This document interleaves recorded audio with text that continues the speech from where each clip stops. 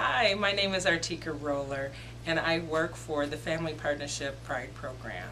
We work with and for sexually exploited, prostituted, and trafficked youth and adult women. My workshop will focus on the trends, the myths, and the realities of the victims of trafficking and prostitution. Please come and join us at the Peace, Power, and Unity Conference on October the 22nd.